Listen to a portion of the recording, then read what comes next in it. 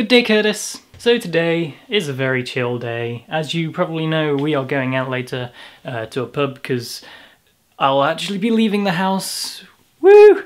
So I'll probably see you in a bit. Um, and this will be a nice surprise for when you get home because it should be uploaded by the time you get home, if I can hope so. So the question which you asked yesterday was a very blurred one because you very poorly edited that video, Curtis, and I understand why you had a short amount of time to do it. But you asked me what my favourite part of Comic Relief was if I had any part. I didn't watch the whole thing, unfortunately. I wish I did, um, but I had other things to do. And because I haven't watched all of it, I don't really have a particular part which I really, really enjoyed. Like, the Stephen Hawking one I didn't think was actually that good. It was, it seemed... I don't know, it was a short which it seemed like they didn't know how to end it. And after that I walked out the room because I was like, no. No.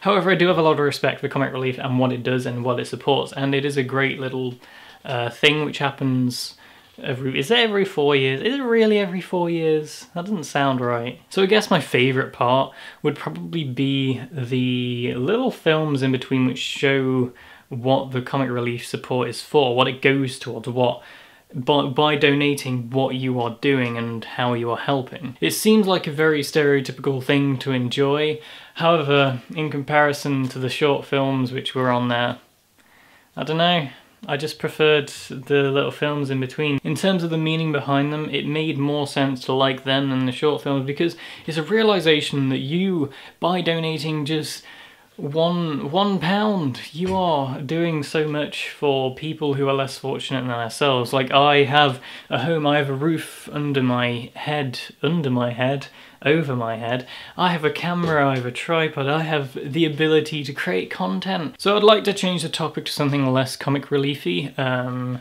for the sake of every everywhere is going to be talking about comic relief in england. So I, I just want to change it up so that we're not uh, just falling into a crevice with everyone else. I want to ask you about something to do with creativity, something to do with making things, something to do with creating something. My question is going to be short and sweet because I do not have the time to explain everything, but what is a project that you really want to be a part of? If you could make something right now, if you could be part of any project in the world, what would you want to be a part of and why? I will see you on Monday.